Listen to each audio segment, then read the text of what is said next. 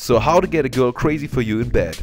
So the first important thing to get a girl crazy in bed is dirty talk. So the most people maybe think that the foreplay starts when actually lay your hands on the girl, but it can start much much earlier, by dirty talking before you two even hit the bedroom. Try stuff like whispering in her ear what you plan to do in the next hours. And she maybe won't be able to resist you. Try touching her at different places. Run your hands around her whole body, especially touch her inner thighs. Start touching every inch, till she literally melts in your hands as you give her a very long and romantic kiss. Make clear to spend a lot of attention to her ears.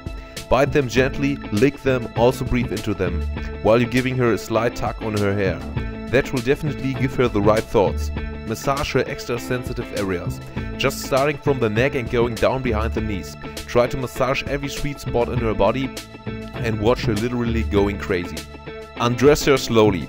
When it comes to undressing her, never rush. Never be too fast. Take it slow, buddy.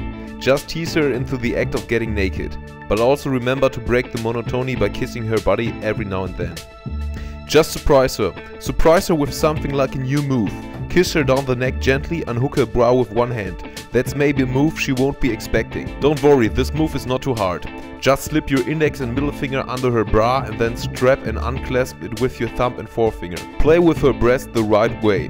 Don't only pay attention to her nipples, try to discover new sensitive areas on and around her breasts.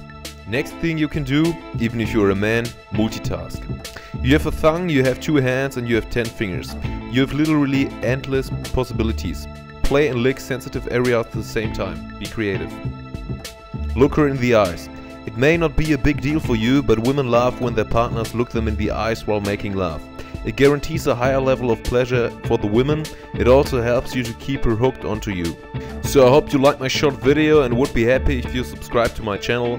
See you in the next video, bye.